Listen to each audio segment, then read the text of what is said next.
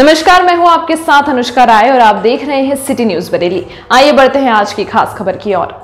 Bareilly jail से फरार कैदी को बिजनौर पुलिस ने दो तारीख में गिरफ़्तार किया था। गिरफ्तारी के बाद पुलिस ने कैदी को अस्थायी जेल में कोविड 19 के तहत शिफ्ट किया था।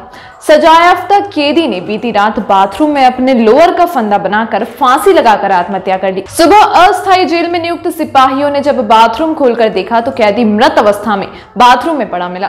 पुलिस ने कैदी के शव का पंचनामा भरकर शव को जिला पोस्टमार्टम हाउस भेज दिया है। मृतक कैदी नरपाल उर्फ़ सोनू जनपद किरतपुर थाना क्षेत्र के गाँव मौजमपुर रायपुर का रहने वाला था। 14 फरवरी 2009 को आरोपी मृतक कैदी ने एक नाबालिग बच्ची के साथ दुष्कर्म किया था। इस दुष्कर्म को लेकर माननीय न्यायालय ने मृतक कैदी को आजीवन कारावास व पंद्रह हज़ार रुपए का अर्थदंड देकर जेल भेज दिया था। कुछ समय के बाद मृतक कैदी को बिजनौर जेल से बरेली सेंट्रल जेल शिफ्ट किया गया था।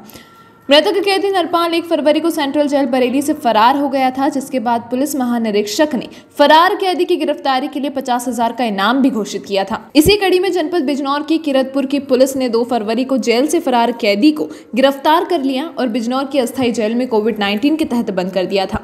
बीती रात मृतक कैदी द्वारा अस्थायी जेल के बाथरूम में अपने लोअर से फांसी का फंदा लगाकर आत्महत्या करने का मामला सामने आया है। इस घटना को लेकर पुलिस द्वारा जाँच पड़ताल की जा रही है। मृतक के शव का का पंचनामा भरकर पुलिस ने पोस्टमार्टम हाउस भेज दिया है।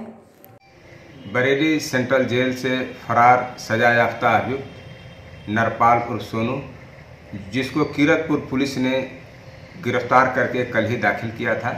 आज रात्रि में किसी समय उसने बाथरूम के रोशनदान के ग्रिल से, लोअर से फांसी लगा करके सुसाइड कर लिया।